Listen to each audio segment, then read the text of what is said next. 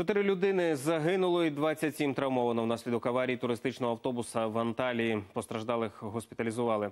За попередніми даними, водій не впорався з кермуванням і машина впала в провалля. Громадян України серед постраждалих немає. Про це повідомило українське посольство в Туреччині.